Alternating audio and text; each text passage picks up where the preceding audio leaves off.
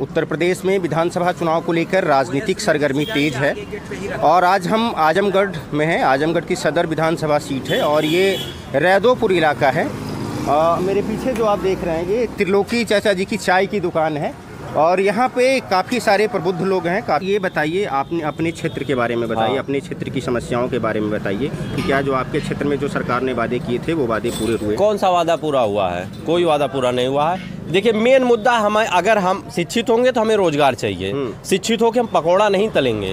समझ रहे हैं? पकौड़ा सबका एक क्लास होता है। आपका जी एम करके चले आइए गोबर फेंकिए। फेंकने वाले फेंकेंगे भाई शौक है। है बहुत से लोग हैं कर रहे हैं। मगर टेक्नोलॉजी और शिक्षाओं की ज़रूरत है हमें। ऐसा कब कहा गया कि आप गोबर फेंकिए? नहीं पकौड़ा तलने की बात आप क्वालिटी के अनुसार क्वालिटी कौन सी क्वालिटी किसमें?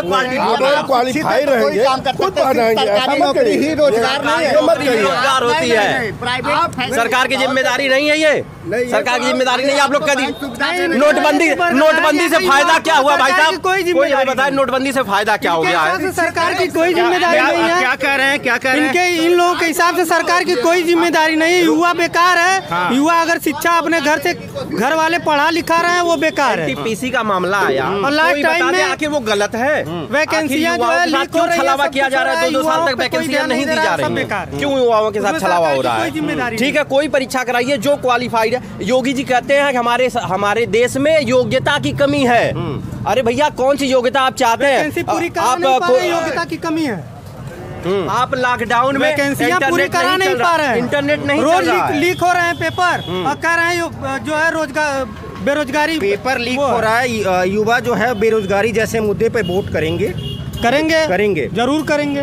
करेंगे वही मुद्दा भी है इस बार। पेपर लीक इसलिए हो रहा है है। कि लोग पैसे से पेपर को खरीदना चाहते हैं। सारे शिक्षित युवा हाँ। पेपर खरीदना बंद कर दे लीक होना बंद हो जाएगा। हाँ, युवाओं पे सवाल खड़े कर रहे हैं जी बिल्कुल। आखिर पेपर खरीदने की कोशिश कौन कर रहा है? जो टैग की परीक्षा देने जाएगा वही ना। पेपर लीक हम तो टैग रोकने की ज़िम्मेदारी किसकी है? युवाओं की है। सरकार की है। सरकार की है ना? सरकार जिम्मेदार होगी आखिर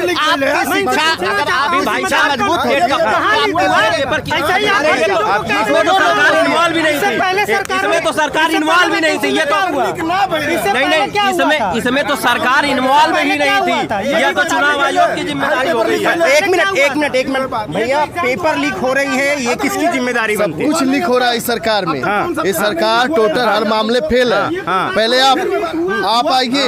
हाँ, भैया भैया आप आइए। आप आइए ज़मीन पे बात करिए। हाँ। ज़मीन का मतलब जो ज़मीन से गरीब जुड़ा हुआ उस पर बात करिए। हाँ। आज गरीब दो वक्त निवाले के लिए मर रहा है। हाँ। महँगाई जो गैस सिलेंडर चार सौ रुपये का था आज वो एक हज़ार रूपए मिल रहा है।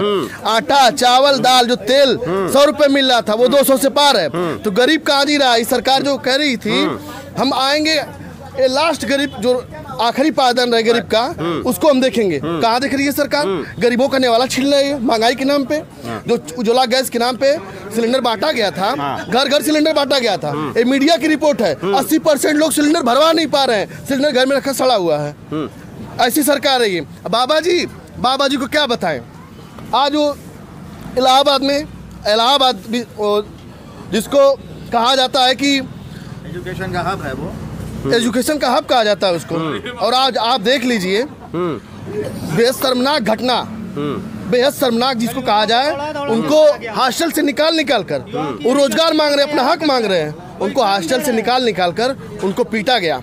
इसका जिम्मेदार आखिर कौन है?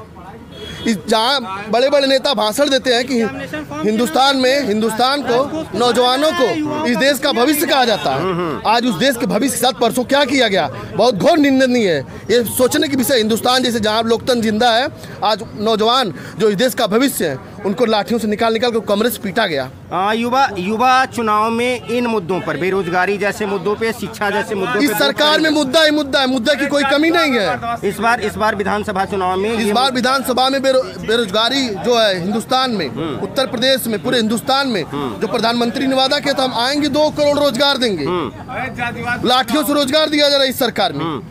ये सरकार टोटल फेल है और 2022 में नौजवान गरीब मजदूर किसान इंतज़ार कर रहा है जिसके जिसके खेत में साढ़ चढ़ रहे हैं, वो इंतज़ार कर रहा है कि 2022 में चुनाव कब आए, हम वोट देकर बाबा जी को नस्ताबूत करेंगे।